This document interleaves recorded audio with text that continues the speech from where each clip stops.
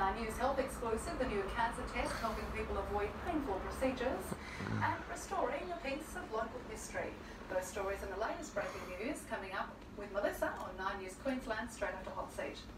But it's time to take a look at the weather now. Brisbane's top temp was 27 degrees. That was at 9am. 24 at Coolangatta, Gympie 29, 23 at Oakey. Toowoomba just 20 degrees.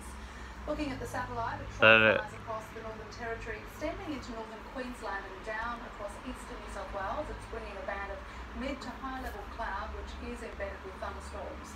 Around the country tomorrow, Sydney 24 degrees, sunshine in Melbourne 29, Said it, 23. top of 21 in Canberra, 34 is 30 in nothing. Adelaide, 35 degrees, Perth, It's just a sea breeze.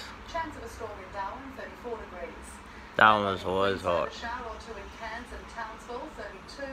30 in Mackay, partly cloudy in Rockhampton. There'll be a shower or two in Hervey Bay and up to 20 mils forecast in Noosa. The big wet really kicks off in Brisbane tomorrow, but it's Sunday and Monday when we'll expect the most rainfall. 20 mils tomorrow before up to 80 on Sunday, 70 mils Monday. The monsoonal conditions are set to ease around Tuesday.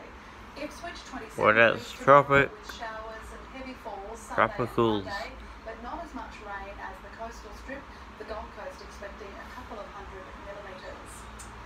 Is Nine's afternoon news. Melissa we'll have your next bulletin at six o'clock. I'm Alison Ariotti. Thanks for your company.